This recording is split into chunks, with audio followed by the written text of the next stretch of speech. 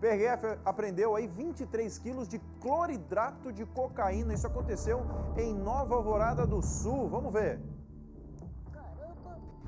A Polícia Rodoviária Federal apreendeu mais de 23 quilos de cloridrato de cocaína na manhã desta segunda-feira em Nova Alvorada do Sul, interior do estado.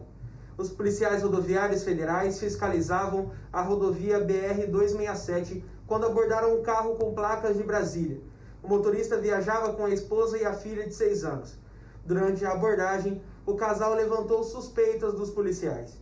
Após uma busca minuciosa no veículo, a equipe encontrou um compartimento oculto no painel, onde estavam escondidos tabletes de cocaína e uma munição calibre 40.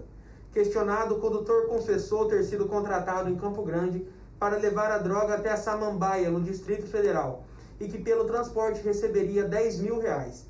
A mulher disse que não sabia da existência da droga. O casal foi encaminhado para a Polícia Civil em Nova Alvorada do Sul e o Conselho Tutelar foi chamado para acompanhar a criança.